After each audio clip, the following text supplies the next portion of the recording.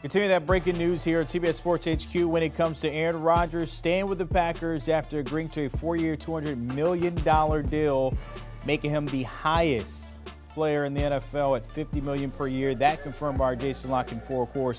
The 153 mil is just reported right now, guaranteed there when it comes to him. Of course, this whole offseason leading up to this year, this past season, if he would come back, said he'd love ball, Guess he loves 50 million for the next four years as well to stay with Green Bay and make another run and maybe at another Lombardi there.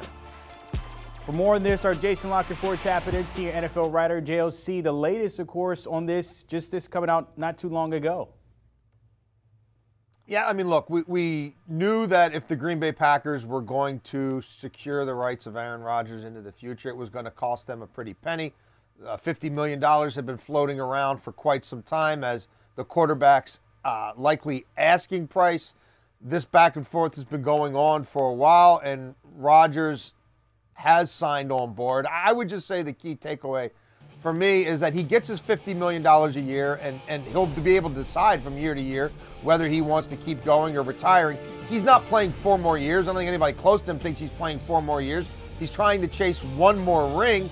Um, but the Packers need four years for cap purposes at the very least to try to spread this thing out. Um, the next move will be Davante Adams getting franchise tag.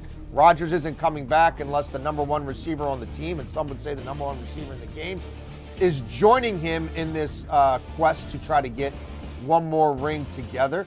Um, and it certainly begs the question of what the heck were the Packers thinking a few years back drafting Jordan Love, which triggered all this, got them into uh, a pickle with their quarterback last year. They end up giving Rodgers another extension instead of ever playing Jordan Love in a game um, of their own volition. I mean, he had to fill in once, didn't go real well. Um, but but clearly they, they made a gross miscalculation a few years ago that cost them draft capital in terms of the assets they invested in Jordan Love, um, cost them the ability to improve their team in real time, and now, because of the aggrieved Aaron Rodgers, it's cost them financially to the tune of this late in his career getting $50 million a year. It better end up with a Lombardi trophy on Lombardi Way. All right, so they got Rodgers, of course, nailed down there. We mentioned that for the first four years. Outside of that, you mentioned Davante Adams. We assume he's going to get the tag, but they still have some holes here. How does this contract kind of help them with maybe retaining some of those guys or looking at guys in the free agency market? I mean, if you have Aaron Rodgers, people want to come play with you, and and I mean, that that's the reality, right? I mean, this is a team that's been sniffing around the Super Bowl for a few years now. So certainly, Aaron Rodgers versus Jordan Love. If a if a veteran free agent who's you know lower tier, mid tier is choosing between a couple teams on a prove it deal, he'll take less to go to Green Bay to try to win a Super Bowl, make playoff money, and play around other good players, which you know makes your film look better and maybe you're more attractive the next year. But th- they've look, this is not going to be the same team. It's not going to be Tampa from the year they won the Super Bowl to the following year, keeping all 22 starters. Um, there's going to be a purge coming on defense. Uh, that that's just the reality of the situation. You know, Z- Za'Darius uh, Smith. I, I can't imagine he's back there. Um, other guys will be cut. That's that's just the, that's there's a salary cap. That's the cost of doing business, especially when you're going to have Aaron Rodgers making 50 a year. You're going to have Adams on a franchise tag. Uh, there will be an opportunity cost here of guys who can't come back into the fold. Um, they're going to have to restructure some contracts, cut some guys, just to be able to, to get around the cap. But that doesn't leave you much room to do much else. So it will be fascinating to watch this play out over the offseason. How hamstrung are they? How good does this roster look in 22? Versus 2021. And there's also, again, the reality that at this stage of his career, as we've gotten deeper into the season, Aaron Rodgers hasn't played his best ball in the playoffs. And this clearly, this is as all in as the Rams were a year ago or the Bucs were a year ago.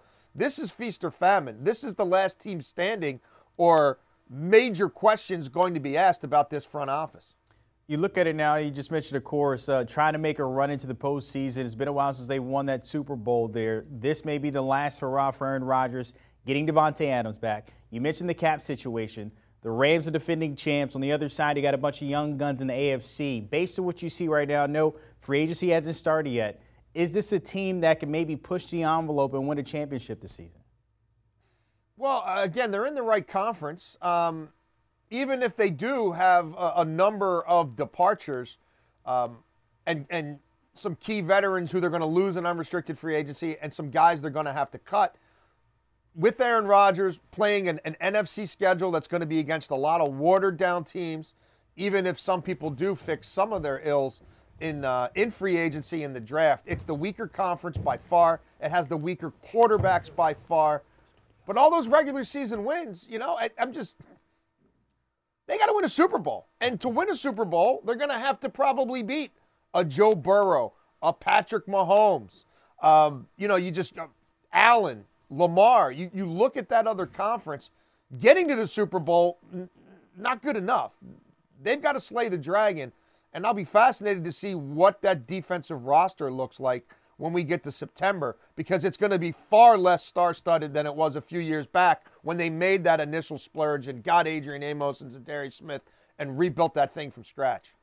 See how that pans out there. Of course, the number one step, taking care of Aaron Rodgers and Davante Adams. We'll see how that pans out. Jason La Canfora tapping the breaking news. Aaron Rodgers staying in Green Bay, four years, 200 mil. By the way, that 50 mil, RJ Canfora confirming that AAV makes him now the highest paid player. Don't forget the conversation continues. All things covered. Patrick Peterson and Bryant McFadden. I'm sure this will be a breakdown as well as we head into the offseason and into next year as well. Download and give the guys a follow. Do you want a sports network that delivers everything that matters about the game? The highlights, the picks, the instant analysis, no yelling, no fake debates, no politics. Hit the subscribe button and never miss a moment.